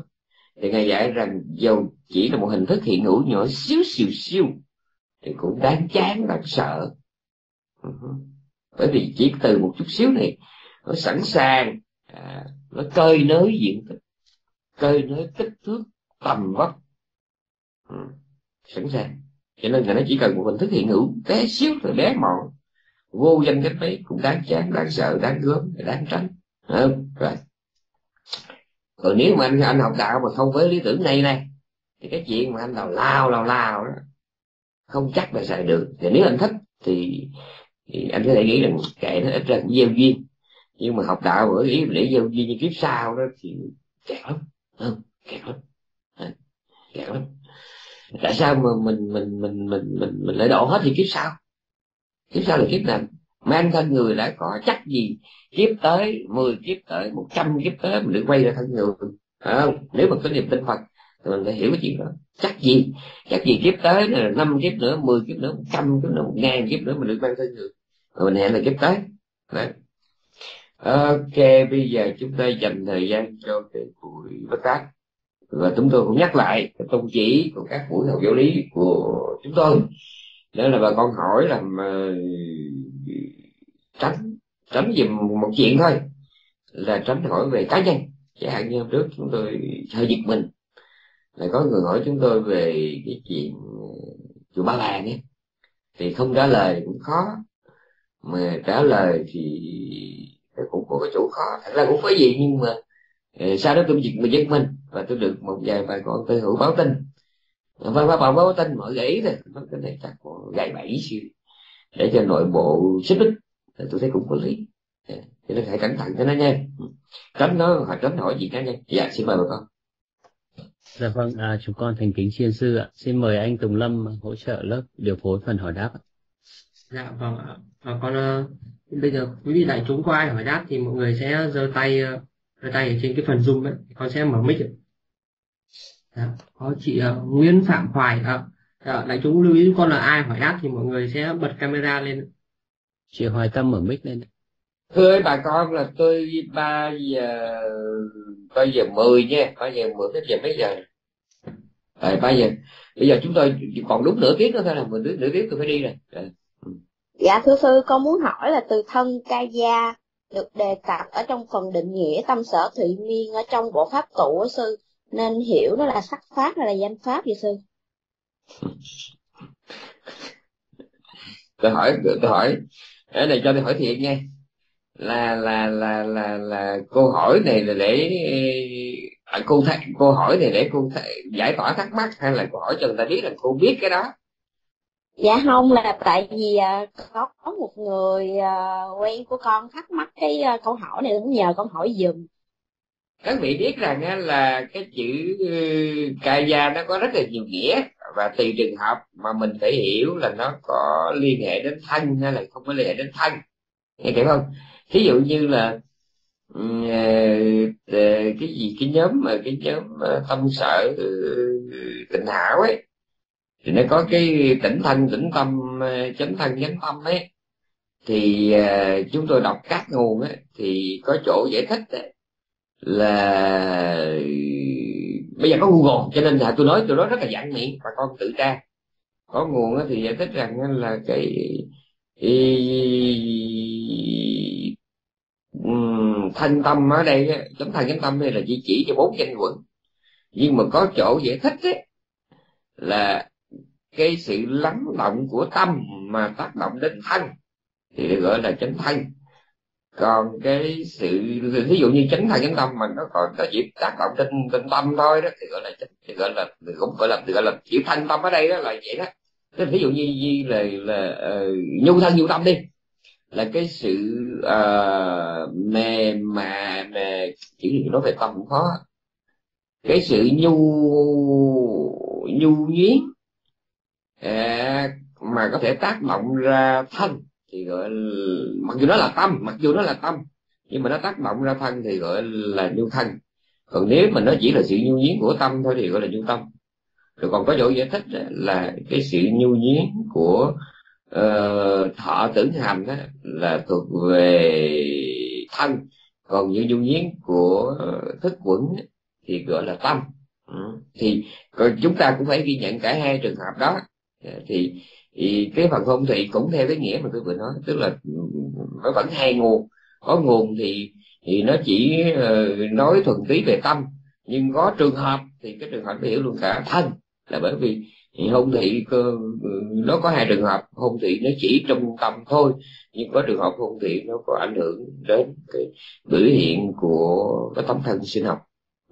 Thế đây dạ con cảm ơn sư dạ xin mời chị uh, Minh Hoài Nam mô Bổn sư Thích Ca Mâu Ni Phật. Con chào sư, con chào mọi người. Dạ con xin hỏi sư một câu này, à, đó là hàng ngày á con ở gia đình thì ngoài con thực tập về cái thiền rồi đãi tâm tư thì mình có nên thực tập cái thời gì nữa không sư?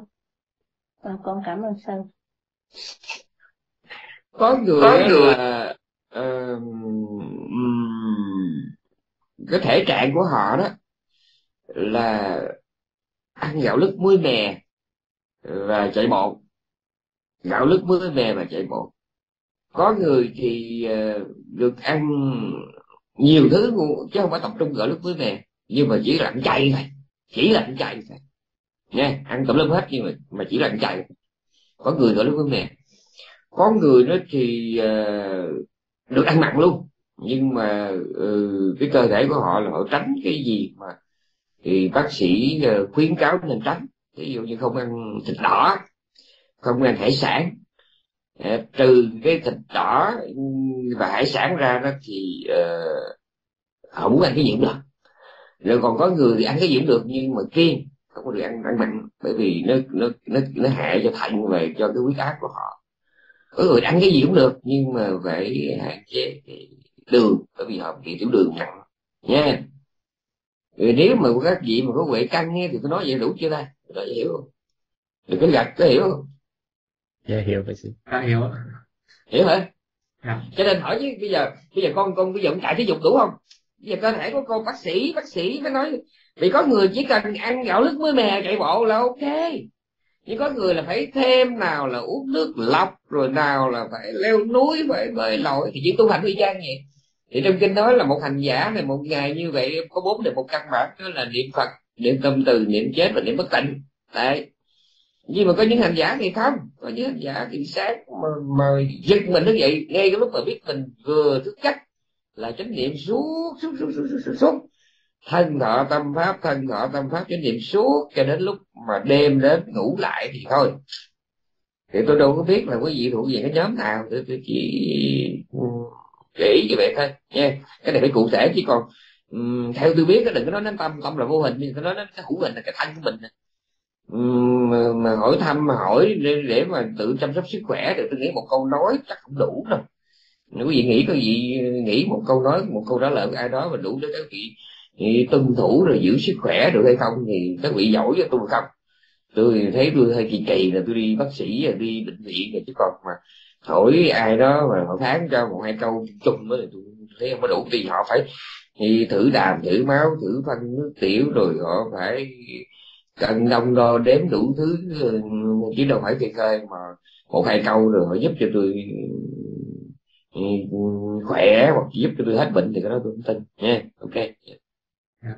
cảm ơn sư. À, xin mời chị ờ, Nguyễn Đoàn Duyên An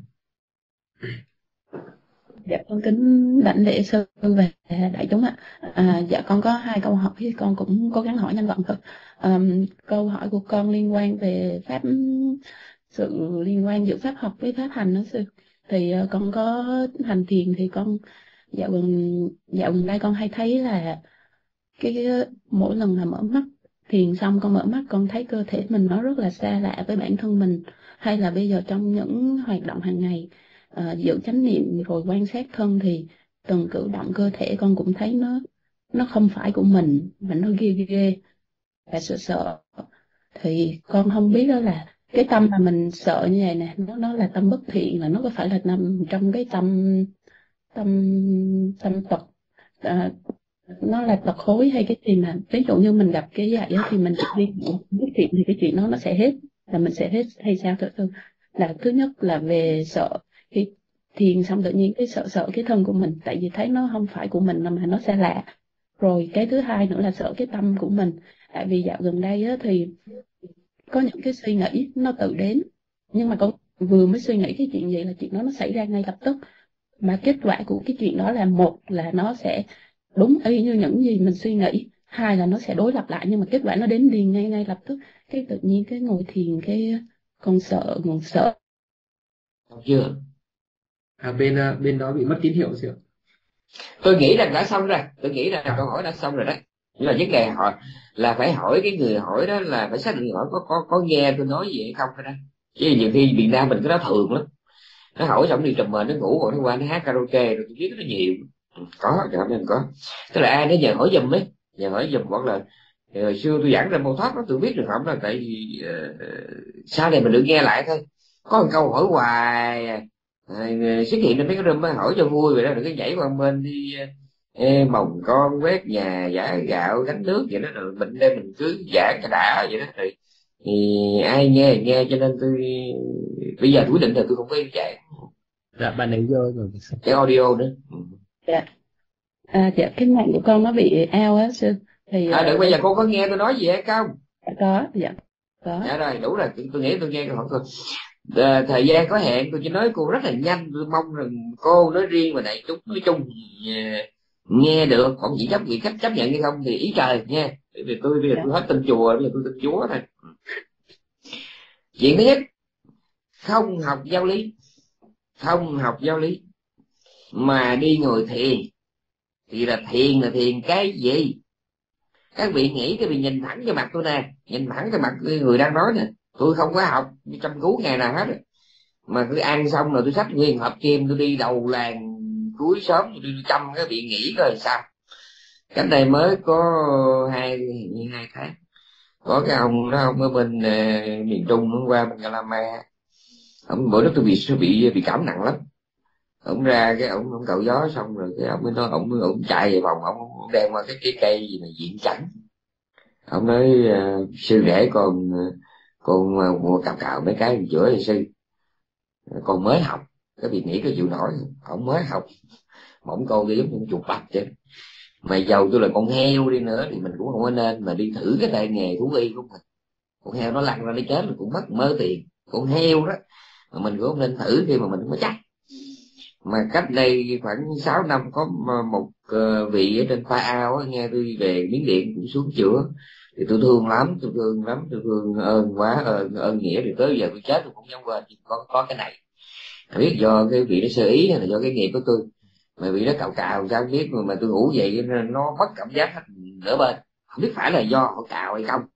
Mà nó coi như tôi rửa mặt mà nó nó, nó, nó giống tôi đang rửa mà ai với mai rửa tôi. Ừ. Mà bữa nó phải đi bác sĩ bữa đó ờ, ông ông chủ ông chủ phải đưa tôi đi bác sĩ đi bác sĩ. Thì từ đó giờ tôi sao tôi nghe nó diện cảnh tôi sợ lắm không phải tôi lạc đề đâu, muốn nói cái này. Là cái thân mình nó là hữu hình, mà mình còn phải bài bản mà.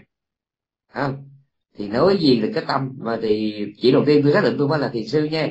Nhưng mà tôi đề tôi nghe cái câu của cô, tôi hay nghi nghi, bởi vì ừ, nhiều người họ trách tôi tại sao mà tôi một là thiếu niềm tin bà con, mà thứ hai tôi nói là những nó thiếu tâm từ, thiếu tôn trọng không phải. Tôi rất là thương, vì rất tôn trọng và rất là thương bà con trong nước. Cho nên nhiều khi tôi phan nhiều câu nghe nó hơi nặng. Như thế này, tôi không có tin, tôi không có tin là trong nước ờ, những vị mà tự nhận là hành thiền mà lại có học giáo lý, tôi không tin. Chắc nhiều lắm, chừng vài phần trăm như thế. Cho nên chuyện đầu tiên để trả lời câu hỏi của cô thì tôi xin nói thế này. Riêng cái cảm nhận của tôi, ngồi thiền mà rồi mà thấy nhàm chán, cái thân này đối với tôi đó, không. Nhưng mà đó là cảm nhận của tôi nhưng mà tôi cũng xin đề nghị quý vị nhớ một chuyện là học giáo lý cho kỹ. Để tự xét xem coi cái chán đó, đó là thiện hay bất thiện. Mà chính mình biết ngài biết cách thì nó có nhiều biểu chán. Ví dụ như mình ngủ vậy tôi này có nhiều lúc tôi nói, xin lỗi các vị mà tôi đi tôi, tôi, tôi rửa mặt tôi, tôi nhìn vô cái, gương của nhà tắm ấy. Mà tôi chán cũng tự sát gì biết không? Xấu quá đi. Có có có rồi chán lắm. Rồi thời gian thế này nè năm mấy tuổi rồi cái cổ tôi nè nó nhăn nó nhăn mà hồi xưa tôi nhớ đó. Rồi tôi nhìn mấy sư phụ mấy ông sư cụ trong chùa á tôi nhìn nó trời ơi già gì mà dữ thằng người ta cái, cái cổ gì mà nó nhăn dữ thằng mà bây giờ tôi nhìn chán nó quá để nó xấu thiệt mình đây căn bản mà nó xấu rồi mà bây giờ thêm tuổi già nó ập tới nữa. Đây. rồi tôi bây giờ nó có nhiều cái rồi tôi nhìn như cái chân tôi này nó như cái chân gà vậy đó. Mà cái bụng tôi thì bụng ẩm bụng to lắm bụng to lắm. Ừ. bụng tôi to lắm rúng lồi ngực, lép mà coi như chân người tông teo tôi nhìn tôi khác lắm. Thì tôi đâu có dám nói đó là tốt. Nha, nhớ nha nhớ nha. Hoặc là phụ nữ mà mấy người mà họ đi ờ, thẩm mỹ đó, đâu phải là họ làm giả vậy đâu. Họ cũng thấy họ quải, họ chán sao rồi mới đi chỉnh sửa ờ, ờ, chứ đâu phải khơi khơi mà họ thấy dưỡi tâm đắc rồi mắc gì họ đi làm, đúng không? Cho nên mình nói mình chán, mình sợ thân thì chưa chắc là tốt. Rồi xấu chính mình nè, chính mình trả lời, nhưng mà để làm được cái chuyện mà tự trả lời, đó là học giáo lý. Nhớ nha, học giáo lý và cái chuyện thứ hai mà cô nói rằng những gì mà cô nghĩ tới mà thấy nó xuất hiện liền đối với tôi cả hai câu hỏi này, cả, đối với tôi cả hai câu hỏi này, thì cô thích thì tôi thấy nó quan trọng nhiều. Riêng tôi đó, thì tôi chủ trương thế này, học giáo lý đi, học giáo lý. Và sống chánh niệm, để thấy rằng chỉ có cái chánh niệm là quan trọng nhất còn tất cả ba cái phỉ lạc ba cái mát lạnh rồi ba cái mà dấu hiệu mà mà linh tinh ví dụ như là uh, nhớ được chuyện xưa nằm chim bao thấy người quá cố rồi thấy như một vài cái hiện tượng nó hơi tâm linh nó hơi siêu hình lắp lắp lắp lắp tất cả đó mới theo trong nhận thức của tôi tất cả là rác. Thì cái quan trọng nhất là cái cục phiền não, cái cục phàm tâm của mình nó còn đang lù lù, nó lửng lửng nó sừng sững. Và mình sống chánh niệm để đủ duyên là chứng thánh tối thiểu được an lạc và thanh tịnh ngay đời này. Và giao duyên như cái sau. Hết. Đó là tôi. Đó là tôi. Nha. Cứ học giáo lý như có thể, rồi sống chánh niệm, hết mình như có thể. Tất cả chuyện gì mà ra, bỏ hết. Bỏ hết bởi vì mình còn thấy mấy cái cái gì đó mà nó quan trọng hơn chánh niệm, mình đem ra mình hỏi, nha. Chứ còn đối với tôi đó là tôi nghĩ đó là học giáo lý, và sống chánh niệm. Tất cả mọi thứ nó đều trên một cái dòng chảy. Có rồi mất, có rồi mất. Đối với tôi, cái đó là cái quan trọng. Quan trọng là cái đó đó. Và quan trọng đây không phải là mình tâm đắc nha, nhớ nha. Không có tâm đắc với với cái thấy đó. Nhưng mà chỉ quan trọng đây có nghĩa là nó là cái đáng để mình dành hết thời gian, tâm tư. Còn ngoài ra ba cái chuyện này chỉ nghĩa là bỏ hết chưa đắc tu đầu quần thì chuyện gì cũng bỏ hết chỉ có gọi là sống với niệm và tuệ thôi. Biết mình đang đi đứng nằm ngồi đang cầm lên để xuống. Không. Biết rõ cái gì nó vừa xuất hiện đó là tham sân si ái mạng kiến nghi biết. Đó, nhiều thôi tức là biết cái cái quát và cái hao cái hao và cái quát biết hai cái đó thôi. Nha. Còn cái gì cũng bỏ hết. Còn nếu mà cô thấy câu trả lời này không gửi thì cô có thể đi kiếm mấy cái vị khác. Thì còn riêng tôi thì tôi thiết tha kêu gọi học giáo lý và sống chánh niệm. Cái gì cũng rác rồi những cái cũng ghê của nó nữa. Có nhiều hành giả họ thấy họ có họ quen này rồi có nhiều hành giả họ thấy là giống như họ có thể bay được nó nhẹ nhẹ bay được. Có hành giả tự nhiên nó bừng sáng mới hiểu ra nhiều cái vấn đề giáo lý mà đó giờ họ không hiểu. Có nhiều cái hành giả lúc mà hành vậy đó, họ tự nhiên họ nghĩ về Phật có bằng một cái niềm tin mà phải nói là sẵn sàng lăn ra chết để cúng dường cái thân xác này cho ngài dễ sợ như vậy. Khiếp vậy đó. Coi như 10 cái tùy phiền não ấy, của thiền quán ấy, gọi là quý Pasanupakilesa thì nó nhiều cái cũng ghê cô nói nữa ghê lắm. Tự nhiên họ thấy họ cái sức tinh tấn họ nó cực kỳ mãnh liệt. Cái niềm tin họ mãnh liệt trí tuệ họ bừng sáng. Rồi họ thấy là coi như là những cái hiện tượng về sinh học à, đặc biệt lắm. Rồi tất cả đều là rác rác hết rác hết tất cả đều là rác. Ừ ok dạ Con xin chuyên sư. Dạ, xin mời chị ờ, Nguyễn Thị Huyền, Huyền Vân. Dạ, dạ alo sư có nghe không ạ? Dạ, nghe rõ chị. Dạ sư cho con hỏi một xíu về cái uh, tâm lộ cận tử á sư. Con không có con không có hiểu là những cái sự khác biệt của một vài cái sát na trong đó thì nó có khác biệt gì. Sư có thể giải thích cho con một xíu ví dụ như là cái uh, lộ tâm uh, lộ nhạc môn cận tử cảnh rất lớn nha. Ở trang uh, 146 này. cô ơi cô có quyển A thì đàm của tôi hay không? Cô đi cô hỏi Dạ, tôi như dạ vậy có cô nghĩ cô cô nghĩ trong lớp này có ai chịu nổi không? Cô lấy quyển A thì đàm của tôi cô coi lại phần nó giùm nha chứ còn cô hỏi vậy vậy là là là là là, là, là, là chết rồi. Cô hỏi cô hỏi mà cô còn ấm ớ không biết cô hỏi cái gì. Và sẵn đây tôi nói luôn sẵn đây tôi nói luôn tùy bà con nghĩ gì thì nghĩ, nhưng mà tôi phải nói thế này làm ơn tránh những câu hỏi mà tự bà con hiểu là không có bao nhiêu phần trăm của cái lớp này có thể chia sẻ với mình. Tại sao không có liên lạc riêng với tôi bằng tin nhắn, bằng email hoặc bằng điện thoại? Còn đây là một cái lớp mà tôi không biết hiện giờ trong trong trong này bao nhiêu người nghe, nhưng mà tôi nghi rằng nó là 90 phần trăm trong lớp này là những người ừ, họ cần một cái nhìn phổ quát. Ừ hứ. mà đem cái chuyện riêng ra hỏi về thì cũng hơi hơi tôi, bây giờ tôi, tôi ngồi tôi giảng chi ly cho bà con thì cái đó cái chết sạch hết. Tôi nghe kể không thể chứ chết sạch không Ừ cho nên cho nên là là là là là, là, là con tránh về cái câu hỏi này. Và con có thể nghĩ sao là tại, sao tôi từ chối và con từ nhưng mà tại sao các bà con biết? Phương trì á phương trì thích messenger đó. Các vị thấy gọi viết tin nhắn được mà. Mà tại sao đem đây hỏi thì nó mất thời gian. Và cái cái câu trả lời này của tôi nè là cũng là là một cái lá thư chung cho tất cả bà con cho tất cả bà con uh, tránh dùm mấy câu hỏi mà bà con tự biết rằng câu hỏi này chỉ cho một mình mình thôi nha nhớ nha nhớ nha một là không hỏi chuyện riêng hai là mình hỏi những câu mà mình biết là chỉ cho riêng một mình mình thôi dạ rồi Dạ, cảm ơn sư. Dạ, dạ ơi, cũng có ai hỏi nên xin giơ tay ạ. Dạ, xin mời ờ, anh Tăng Phúc. Dạ mô Phật con chào sư. Con ờ, ở bên ờ, Houston con có gửi mail cho sư. Con không biết là khi nào sư quay về Houston chùa Pháp Luân. dạ mấy câu này thôi mình bỏ qua Dạ, Dạ nhưng mà à, lúc nãy sư có nói là nếu mà có vấn đề câu hỏi gì đó thì gửi mail cho sư á, sư cho con xin địa chỉ email con có. À ok ok ok hết hồn Dạ. tôi tưởng ông, tôi tưởng là ông, ông, lên ông hỏi chuyện riêng thì không Dạ không có không tôi có. là- ok là toại khanh toại khanh 77 at gmail com Dạ để con ghi. Dạ. còn còn nó là trong bên ngoài là nói thì trong nước này toại khanh 77 a còng gmail com Tại Khanh dạ tại Khanh 77 hết thầy. À, sư. a khanh 7 rồi rồi at gmail com Dạ rồi dạ rồi. Con cảm ơn sư. trong nước là a a a còng đấy a còng gmail com Dạ một Phật con cảm ơn sư rồi con chỉ Dạ. hỏi bao nhiêu thôi. Tại Dạ vì rồi, tất dạ cả rồi. những câu hỏi nào con muốn hỏi thì con đã nghe pháp của sư. nhưng mà rồi. nhanh nhất nhanh nhất nha nhanh nhất là là messenger dạ nhanh thì, nhất sư Dạ. số số messenger số điện thoại messenger không ông vô trong facebook ông vô facebook ông ông, ông, ông đóng cái cái cái uh, Phương Tri thích con gửi rồi mà rồi sư không trả lời. có một không là không trả lời con. Mà được rồi được rồi được rồi không tại vì người lạ nhưng được là bữa nay tôi hứa bà con bữa nay chiều nay tôi sẽ là, là, là, là, là, là, là đại xá dòng nhân mà đại khai sát giới tôi nhận sạch tức là mấy cái mà friend tôi nhận hết Là đại xá Dạ, dòng một nhân ra, dạ con cảm ơn sư dạ dạ vâng con chào sư dạ. dạ xin mời tiếp tục mời chị Lê Như Trinh. Chị Trinh có thể mở mic lên chị cái này cũng là cái duyên. Hồi đó mình có cái lớp ờ, vấn đáp mà tôi thấy uh, ban tổ chức không có lựa câu á nhiều cái câu trời ơi nó hỏi nó vô toilet cái nó, nó, nó xé tờ giấy nó câu cái nó hỏi. À, mình nghe mình biết.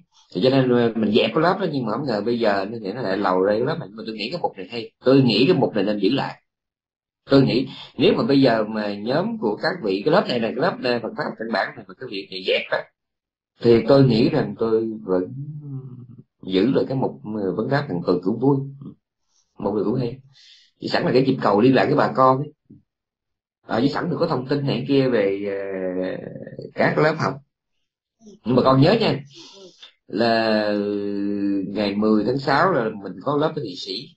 Từ 20 tháng 7 trở đi ờ, là mình có lớp 3 tháng ở Calama.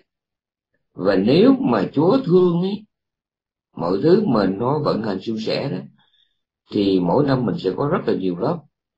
Và không phải một mình chúng tôi mà chúng tôi sẽ thỉnh uh, các vị khác uh, trong và ngoài nước. Như ở Mỹ mình có hai vị Mỹ mình có hai vị. Nếu mà các vị nhận lời rồi trong nước mình cũng có cũng năm bảy vị thỉnh các vị qua đó. Uh, và chúng tôi không loại trừ cái trường hợp là mình Ờ, mời cả cư sĩ nha ừ, mình không loại trừ trường hợp đó. Mời cả cư sĩ. Nam nữ tu nữ nha ừ, ờ, về đó. Và cũng phải nói nói hơi lạc đề đó là ừ, ờ, đêm hôm qua chúng tôi nhận được một loạt hình ảnh mà chúng tôi thấy không có cần phải khoe. Tức là mình bây giờ bếp nút mình là phải nói là tuyệt vời không ngưng tả được inox như bệnh viện. Bánh xe rồi điện đóm rồi, rồi, rồi, rồi cái bài viết vừa rồi nó có cái chuyện khó tin nó là lớp học ba tuần. Thì không có nước nóng tắm mà bây giờ nước nó nóng nước nóng mình nó dư đến mức mình nó, rồi coi như thừa mứa luôn. Lấy vào đem tưới cây cây nó chết. Nước nóng mà nó thừa đó mà bây giờ chứ bây giờ tôi, tôi nghe nhắn tin nó thôi bây giờ tất, tất cả bà con nào đó bắt nghề tắm năm lần chứ bây giờ mình mình đâu có thể là bỏ nó uống gì. Tưới cây đâu có được nước sôi mà à, cho nên vẫn được bằng điện đó là bây giờ solar không nói mà con biết là tưởng chúng tôi phí điện mà. Điện nó là điện trời. Điện nó là điện trời cho nên bây giờ nó sáng. Nguyên một ngọn đồi mà ngày xưa tôi có cái mộng là là là là là, là, là trải ngọn đồi ra làm phải sáng. Sáng ánh sáng vàng. Mệnh vàng mà của Galion đèn vàng của cung trầm tượng. Đúng bây giờ nó đã thành sự thật. Tức là nó sáng hơn Galion Galion thì đứng đọc báo cũng được. Tôi có tới Galion của pháp. Đọc, đọc báo không nổi nhưng mà ừ, đèn vàng của Calama là đọc báo thoải mái. Mình sáng hơn ra đi không? mà sắp tới đây thì mình có mấy cái cốc nhỏ nhỏ nhỏ nhỏ cốc bằng bê tông rất là dễ thương.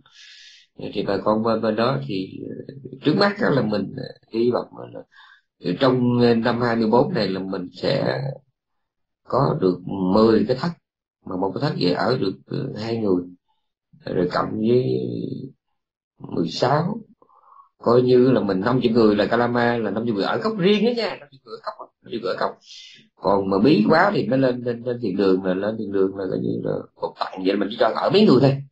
Chứ người này ngái người kia không nghe đó chứ tùy rồi nghe bà con phản ánh cái quá. Còn là thợ sẽ gỗ không. Đây. Là xin mời chị Trinh. Rồi chị mở mic ạ. Câu cuối cùng nha câu cuối cùng nha câu cuối cùng dạ con kính thưa sư ạ à. dạ sư cho con hỏi là với khối lượng mà kinh tạng lớn như bây giờ sư, thì với phật tử chúng con thì nên học là vấn đề ờ, giáo lý căn bản cần thiết như thế nào ạ à? sư sư, mong sư chỉ dạy giúp chúng con để chúng con đi đúng hướng ạ à cái câu này nó cũng mênh mông, mà cái câu này nó cũng gần giống như cái câu mà mình hỏi chứ chợ bán nhiều rau quá tôi ăn cái rau vào cho nó khỏe à, nó cũng gần giống. Rồi thấy mà chợ nó bán nhiều rau quá. Bây giờ tôi biết ăn cái rau nào cho khỏe. Thì bà con cũng phải làm ơn mà con